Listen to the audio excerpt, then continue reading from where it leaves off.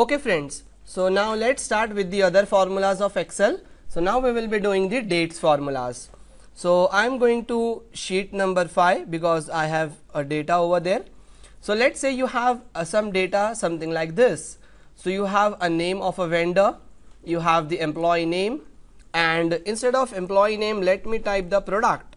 So this is the product which one of the company has given it to you and on this date you have been given the invoice and this was the invoice number and this is the invoice amount and this is the current date which is 31st August.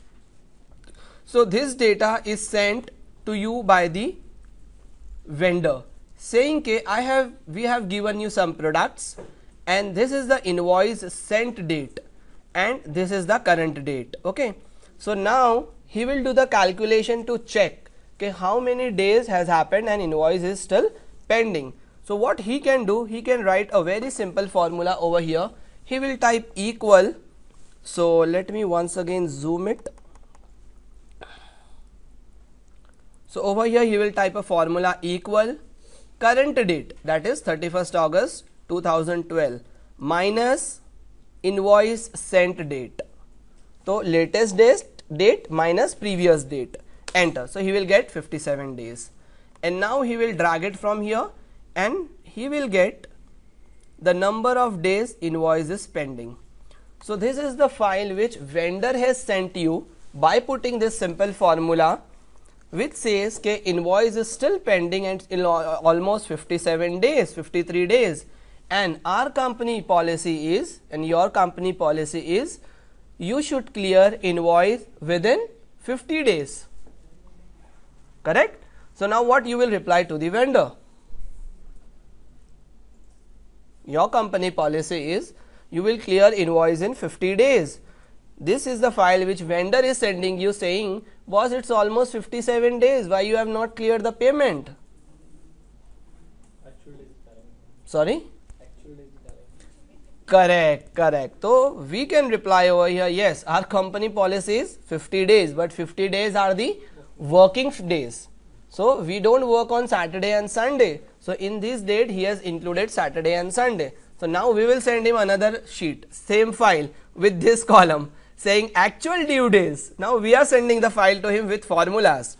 So, now I want to do a calculation friends in which I want to calculate days between invoice date and current date but excluding Saturday and Sunday because we are not working on that day. So, let me make this little bit small so that we can clearly see. So, over here I will put a formula with the name network days. This is very important formula friends which excludes Saturday and Sunday from the two dates. So, over here you will say equal network days and this I will show you a little bit in depth. Okay. So, equal network days, what is asking you? Start date. So, here I will say my start date is this that is the invoice sent date, comma. Now he is asking me what? End date, give me end date. So, I will say 31st August is my end date means this is the current date and you will say close the bracket, press enter, done. So, it is 42 days. So, now you can reply him still 8 days you have to wait our company policy is 50 days. Okay. So, here you will double click uh, here it is 45 days. So, still he has to wait for 5 more days. Clear friends? So, this way you can use the network days formula to exclude Saturday and Sunday. Now, over here you might have a question. Okay Ramzan, we have excluded Saturday and Sunday, but if there is one let us say holiday like 15th August, Independence Day, if you want to remove that, then what I should do? So, simple over here I have a list of holidays as well. So, 10th July and 13th July was the holiday. So, if you want to remove so as of now the actual days we are calculating is 42. Now, what I will do after this F2 I will put comma see what is asking me holidays this is optional correct. So, I will select complete holiday list. So, if you have a big list of holiday you can select this I am selecting this and press enter. So, now it is 40 days previously it was 42 days now it became 40 days clear this is another level. Now, over here you might ask another query. Okay in network days what's happening? It's excluding saturday and sunday and if i want to exclude the holiday as well. But my company works on saturday. Or my company uh, is having off of any of the other weekday like monday and tuesday. So we'll take an example. My company is uh, off that is week of uh, uh, I'm having holiday only on Sunday. So how do I do that? So here you will use a formula of network international formula. So over here you will say equal network days and international. But over here if you will see you will not get international formula. Why?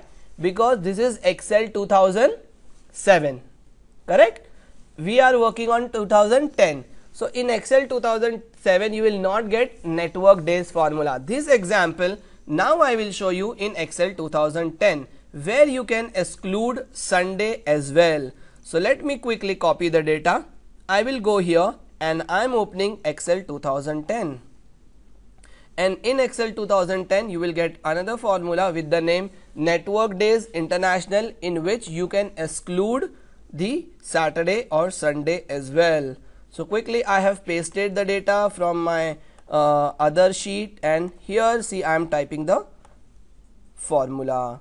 So I am increasing the size and over here I will type equal network days international. Can you see this formula? So you have equal network days in 7 but this formula networks days international this is not there in 7 so you all are working on 10 right? So you will be able to do this. So i say equal network days international. Now friends pay attention. Again he is asking me start date. So i will say start date is what? This invoice send date comma. Now he is asking me end date. So i will say end date is current date comma. See now is what he is asking me? He is asking me weekend. What is the weekend in your company so I am saying my weekend in my company is only Sunday. So over here see Sunday and Sunday the number for that is 11. 11 denotes Sunday over here. So you will just double click on it and you will get 11. 11 means Sunday correct and you will put comma. If you want to put a holiday you can put any holiday. If you don't want to put don't put close the bracket and press enter. So actually it's 50 days. So if you are putting network days formula it's coming how much 40 days but if you are including the Saturday as well in your working days then it comes to 50. So, if you want to just include Saturday or only Sunday you have to use a international days formula. Clear friends? Any doubt in this? Great. So, this was all about the network days formula. Yes. The um, there we put 11 for Sunday. Correct. So ca can I use it for all combinations of days? Yes, yes, you can use that. No, no. Over here, when you say uh, put drop down, na, over here it's ask you weekend. So you have to select. Is your weekend is on Saturday, Sunday, Tuesday, So Thursday? Two consecutive days or one day. No other combination. No, no other combination, and all have been given the numbers. It's like that. The combination they have already given. So over here you can't say Monday and Friday. Whatever combination they have, you have to use that. But yes, Can was I- a can I good use question. Two days separately, like Tuesday and No, no, you have to use that one, only one, because they have given only the one option. Clear? So I say excluding over here.